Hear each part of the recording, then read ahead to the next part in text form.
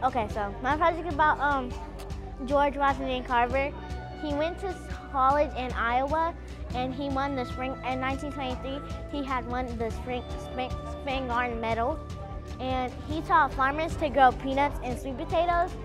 And he went to high school in uh, 1884.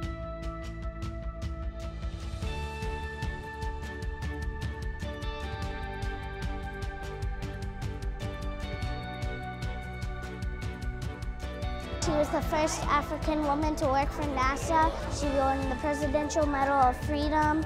She worked on the Mercury project and helped send Americans into space. And she graduated high school at 14 years old.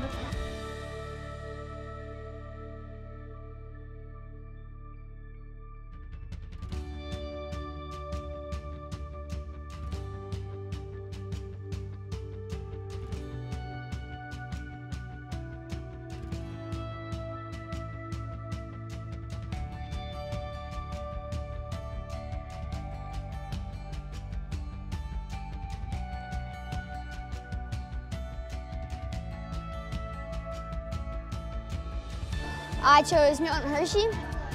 He, uh, here's one, interest, one interesting fact. Milton Hershey was supposed to go on the, go on the RMS Titanic, but business calls told him to take an earlier ship to the USA. He is known for, he is known for being the chocolate king. Hershey was an apprentice to, to a candy maker that inspired him to, to open his own candy shop at just eight year, 18 years old. My name is Robert. I'm in the fifth grade, and my person is Galileo. He, he was very hardworking, smart, curious, and determined. Some of the things that he was known for was uh, making sure that the Earth wasn't flat and that the Earth isn't at the center of the solar system.